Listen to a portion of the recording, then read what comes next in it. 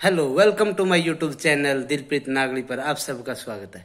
आज हम बात करेंगे दुनिया के सबसे छोटे आदमी के बारे में। दुनिया के सबसे छोटे आदमी नेपाल से है, जिसका नाम चंद्र बहादुर डांगी।